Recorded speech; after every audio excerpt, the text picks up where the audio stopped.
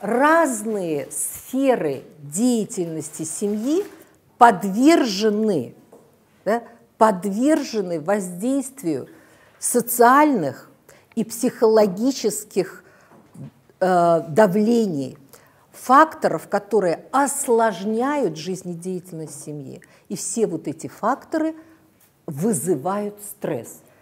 За счет чего семья справляется со стрессом?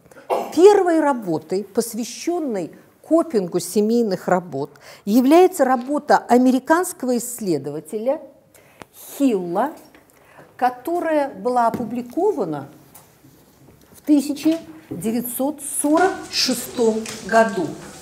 Так работа Хилла, автор Хилл, который в 1946 году, исследуя жизнь семей, в которые вернулись а, солдаты и офицеры с фронтов Второй мировой войны, да, опубликовал работу, в которой написал, как семья совладает со стрессом длительного отсутствия отца и затем а, встраивание отца в семью, где уже выросли дети. Семьи отсутствовали по 5-6 лет. Там начинали э, с там, 39 -го года, да, возвращались к 46-му. И Хилл а, опубликовал монографию, в которой, а, стержнем которой являлась следующая формула. Ее очень легко запомнить. Она называется ABCX формула. Что же это за формула? Что же это за модель? Хилл написал, давайте мы ее сначала запишем, а потом каждый сомножитель этой формулы да, x есть некоторое произведение от факторов A, B, C. Что же за это за факторы? Что такое X? X, сказал Хилл, э, это семейный кризис. Семейный кризис. Семейный кризис.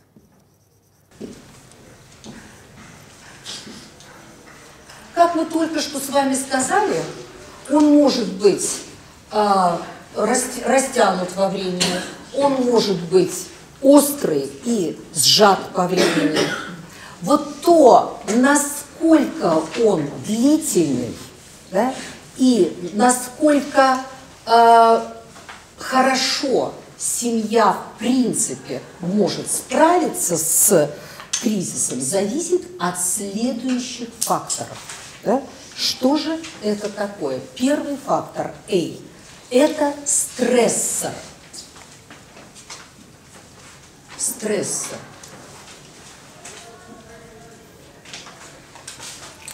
Давайте мы вспомним с вами. Мы на втором модуле говорили о стрессах и говорили, что само понятие стресс произошло от английского слова стресс – давить, напрягать. Да?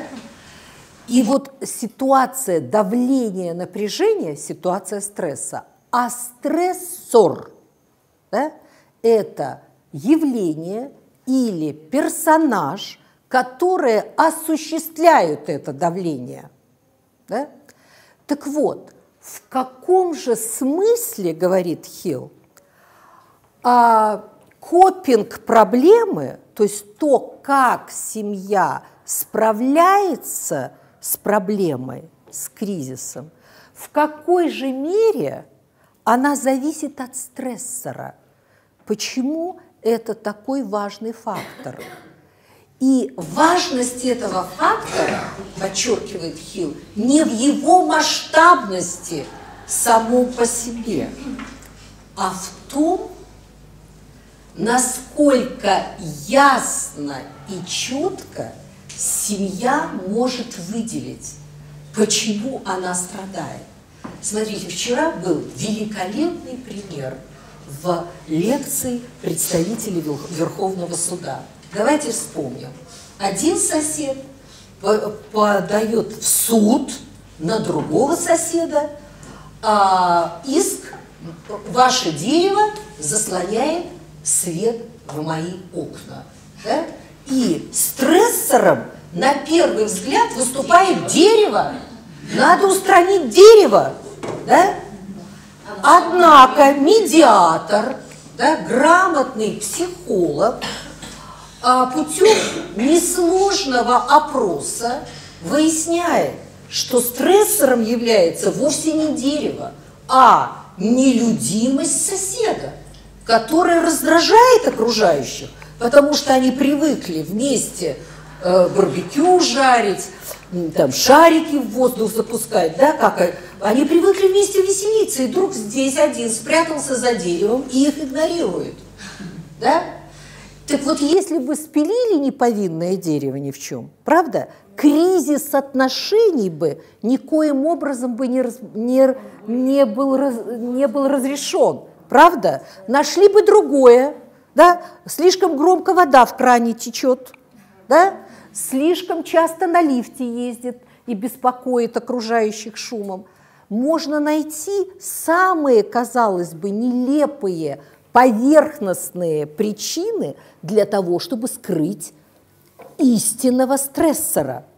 Да? Поэтому давайте мы еще здесь были и замечательные, у нас у каждого есть а, пример, такие примеры, когда вдруг мы приходим, например, к родственнице на день рождения и дарим как бы от, на самом деле от всей души подарок. И потом выясняется, что подарили не то и не так. И дело не в подарке, а в том, что подарок позволяет ей, этой родственнице, наконец-то проявить свои истинные чувства. Правда? И стрессором является не наш подарок, да, а нечто в наших отношениях. Поэтому мы давайте запомним с вами, она потому эй и стоит, это, э, этот компонент в копинговых стратегиях, что? Решение любой семейной проблемной ситуации, то есть поиск выхода из стрессовых ситуаций начинается с глубокого анализа того, а что же создает эту ситуацию, что является истинным стрессором. Или ревность, или эм, обиженность. Да? Поэтому давайте мы с вами запишем, что стрессор, стрессор формуле Копинга – это глубинная причина, глубинная причина, порождающая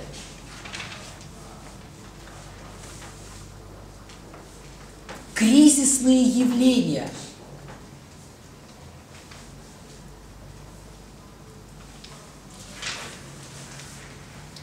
И чем более ясно семья осознает истинный стрессор,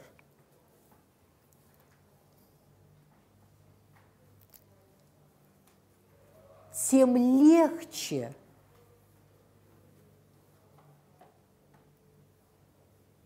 ей, семье, совладать, то есть осуществить копинг стрессовой ситуации.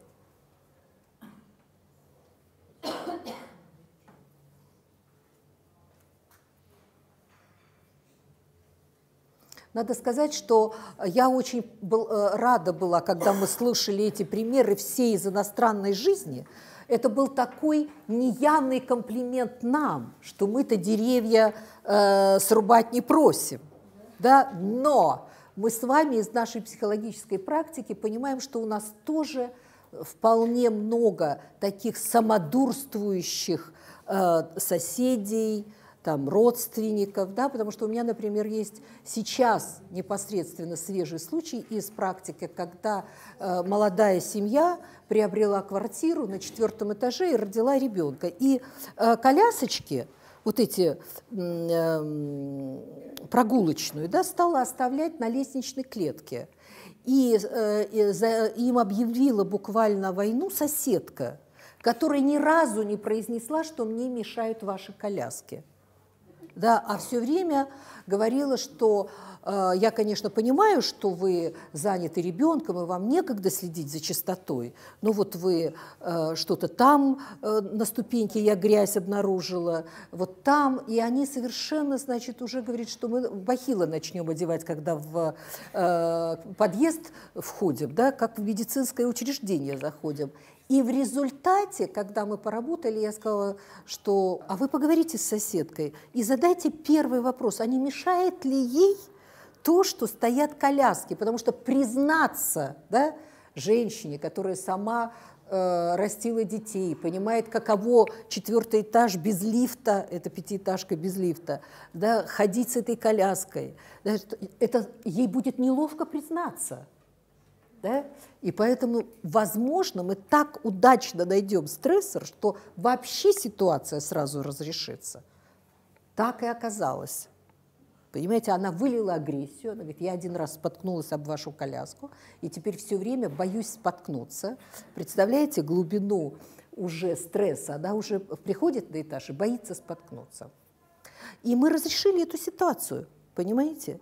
И соседка уже не ходит и не ищет, где здесь грязь. Понимаете, потому что она понимает, что про нее уже все понимают. Про уровень ее человеколюбия, который выражается через нелюбовь к коляскам.